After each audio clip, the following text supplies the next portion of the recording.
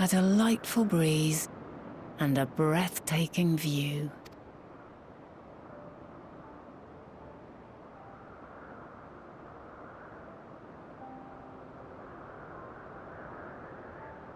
What is it like in the future? Is the world still a beautiful place?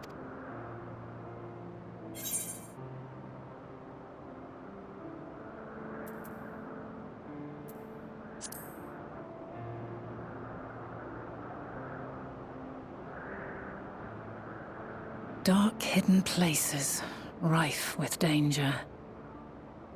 Those have an altogether different, but no less powerful sort of appeal. While we wait, will you not tell me about your adventures? Well, not the portentous events which led you here, but the simple delights all your own. By learning about the future world, I may gain insight into future me's plans. But more than that, I have an interest simply as a fellow traveller. Short of going somewhere oneself, there's naught more stirring than hearing another's account.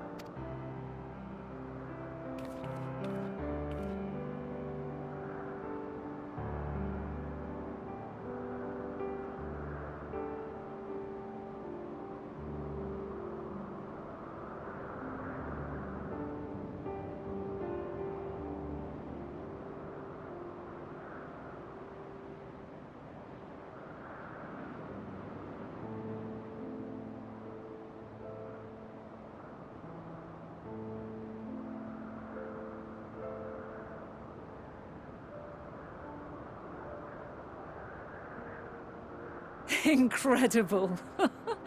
Would that I could have been there to see it.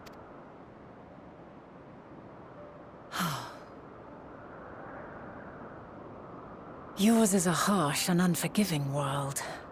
Yet in spite of this, your brethren hold fast to their virtue. To know that the light of mankind's potential still shines, even in that faraway place, it gives me heart.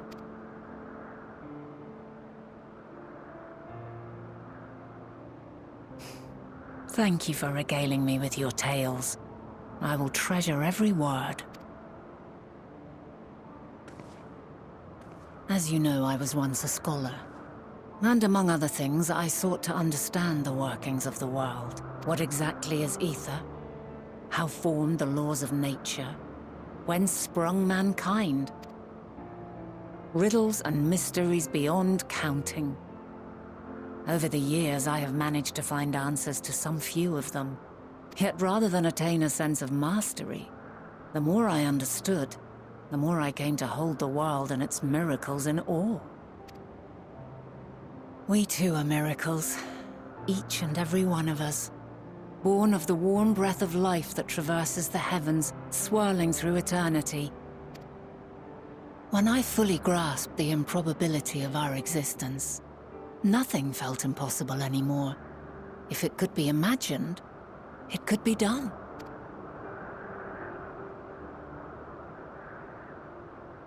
A passion swelled within me. An epiphany dispelling all preconceptions of what was natural and true. And a presence without. Immense, yet intimate. Fate, perhaps, holding us in its tender embrace as reassuring as it was intimidating. How keenly aware I became of creation's fragility, built as it is upon precarious happenstance. I was overcome with an irrepressible urge to know the world more intimately, to hear its voice, feel its breath.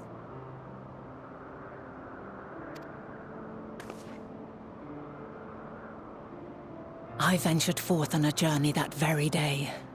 So very long ago now. Freed from presumption and prejudice, I saw the world through a newborn's eyes.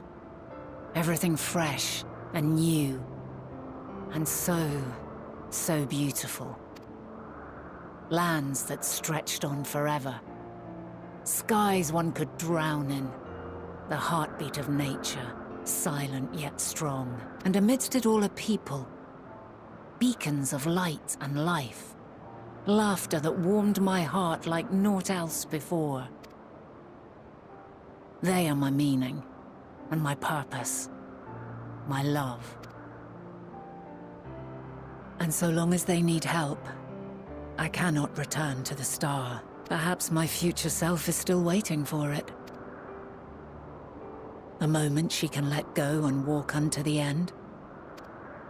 Safe in the knowledge that man will find his own way.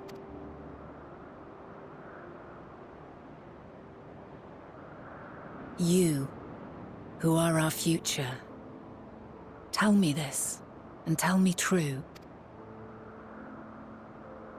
Has your journey been good? Has it been worthwhile?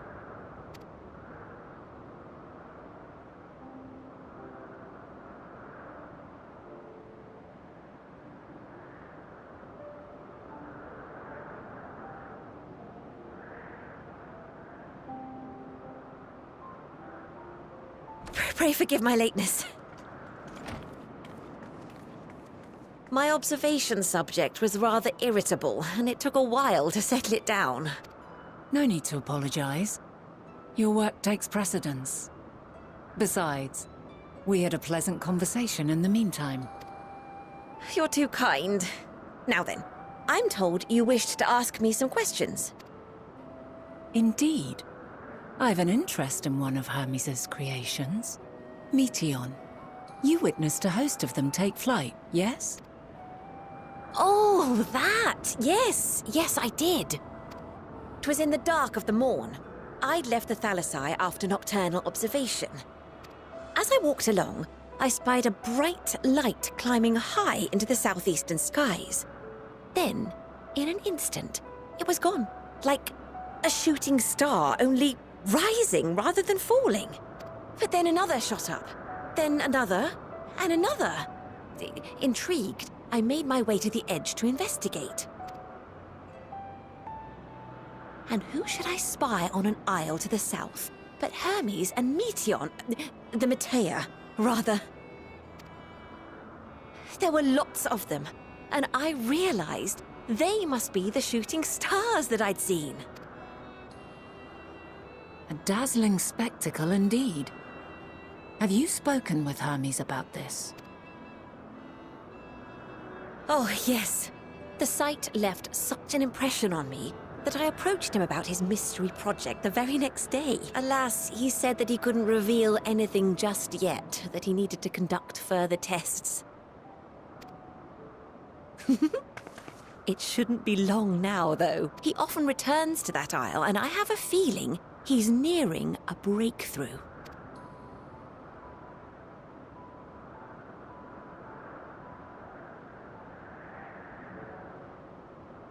Splendid.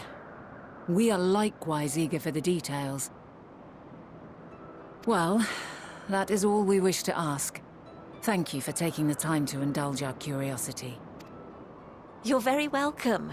It's always a pleasure to speak with other inquisitive souls. Oh, and will you be descending now? If so, I shall link the doors for you. Please.